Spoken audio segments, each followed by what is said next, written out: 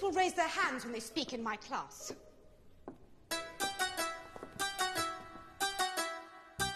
वो बाहर कैजुअलिटी में कोई मरने की हालत में रहा तो उसको फॉर्म भरना ज़रूरी है क्या